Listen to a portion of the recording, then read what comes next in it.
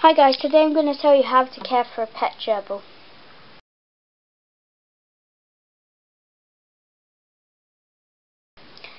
For gerbil supplies, you will need some wooden toys such as this one which they can gnaw on whenever they feel like it. Although they do like to gnaw on this one and all their other toys. Because their teeth grow constantly throughout their lives.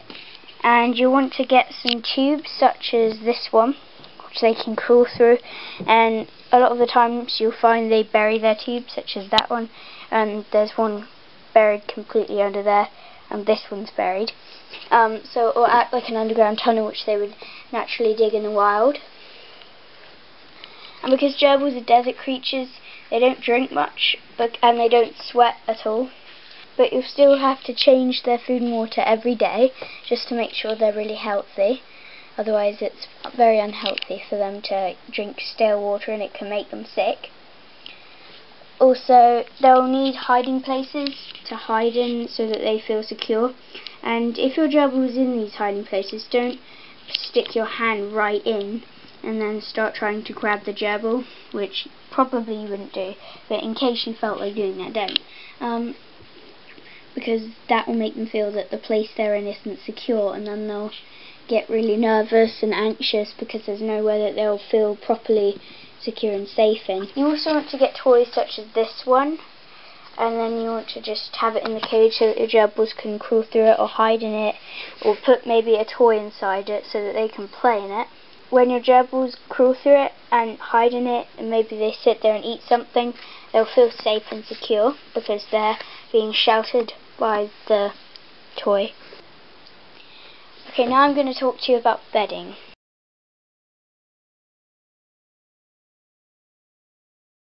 For bedding you want to have either sawdust, wood shavings or sand and you can mix sand with a few drops of water, not too much water but a few drops every time you clean the cage.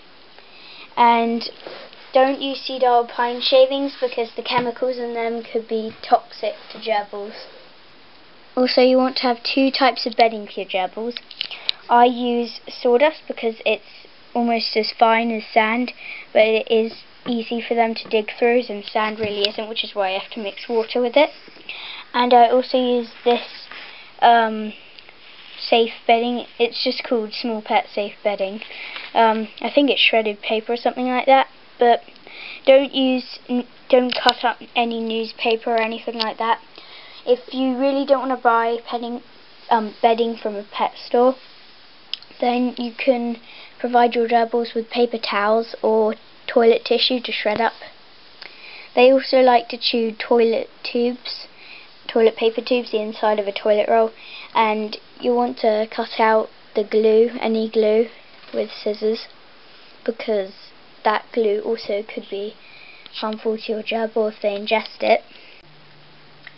You can also use hay for a nest that your gerbils will probably just shred up and then dump it into a big pile like this and then they'll hide in it and sleep in it together.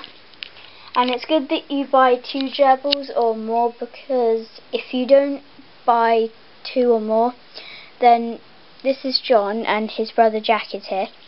They will have no one to groom them or eat with or sleep with or play with because they'll be very very lonely and often gerbils who are alone they don't live as long and they're quite unhappy and they're very very hard to tame because they're very very unhappy and they could be aggressive towards you.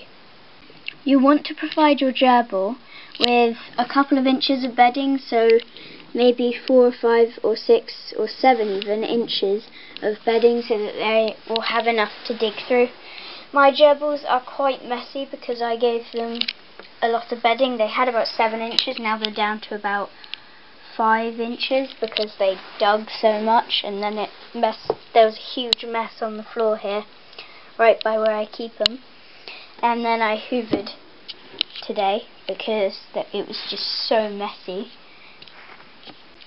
The gerbils will also probably want to have a wheel in their cage with wheels you want to make sure it's big enough so it doesn't bend their spine and also you want to make sure there are no holes in it which wire ones can have because the holes, they could get their feet and tails stuck in them, which is why it's much better to have a plastic one.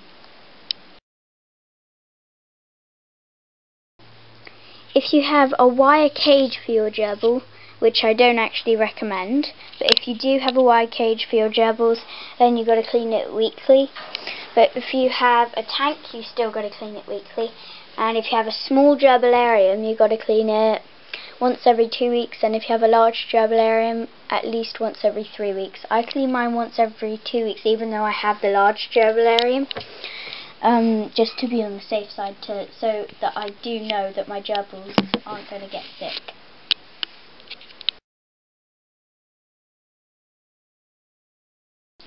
For food you can feed them regular gerbil food, which is what I feed mine, but be careful not to give them too much. Feed them about this much if you can see, that's their food bowl, and this is their treat bowl.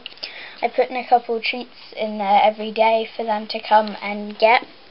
You can feed them uh, sunflower seeds and pumpkin seeds. Also you can feed them sun-dried corn, which I actually keep up here. You can also feed them fresh apples or carrots or broccoli or lettuce on occasion, maybe once or twice a week. I feed it to them twice a week. You can also feed them whole grain bread as long as it's organic and you know it's whole grain. They can eat stale bread too, but it's better for them to eat um, fresh bread. So you can also feed them, well, this is a treat I have called Broccoli Heaven, which I just recently got. And they so far love it. These are the sunflower seeds, which I feed them. Don't buy any spiced ones. One time I bought a pack of spiced ones then I realised it was spicy, so I had to eat them because they weren't good for my gerbils. I've got a bag of pumpkin seeds here, which are fine for them. And this is an apple stick. I keep my sweet corn and popcorn in here. And you can feed them some sun-dried corn if you get it from a pet shop. I got the popcorn from a pet shop and I also got the corn from a pet shop so I know it's safe for my gerbils to eat. Don't feed your gerbils anything like chocolate because that's poisonous to them. Alone gerbils will live maximum two years. Gerbils in pairs or groups will live two to four or even five years. The world's oldest gerbil I think lived to be about eight years old which is really, really old for a gerbil. So my gerbils are both two years old and they're not showing any signs of sickness or um, signs that they might be dying or going up to heaven soon, which is great to know. And gerbils are overall fantastic pets. Right now they're quite sleepy.